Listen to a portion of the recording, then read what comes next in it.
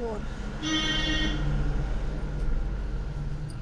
Hello दोस्तों, मैं ये आपके सामने बहुत ही सुंदर और आसान सा डिज़ाइन लेकर आई हूँ।